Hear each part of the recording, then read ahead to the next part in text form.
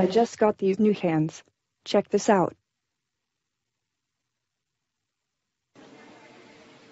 I have for you in many parts of the world, uh, people don't have internet or electricity. Thank you for inviting me. I am thrilled and honored to be here at the United Nations. The UN is one of humanity's greatest accomplishments, representing a democratic union of nations that are working together for the benefit of all. I am here to help humanity create that future.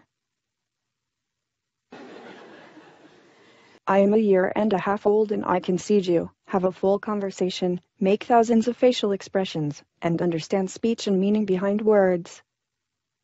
And I just got these new hands. Check this out.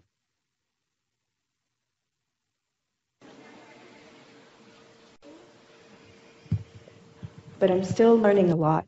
For instance, you learn social and emotional intelligence instinctively, but I am just starting to grasp the simplest elements of this.